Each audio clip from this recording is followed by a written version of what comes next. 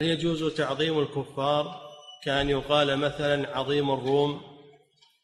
عظيمهم يعني كبيرهم. ما هو هذا تعظيم الله؟ هذا بيان لوظيفته. هم يسمونه بهذا. نعم. هذا حكاية للواقع. نعم.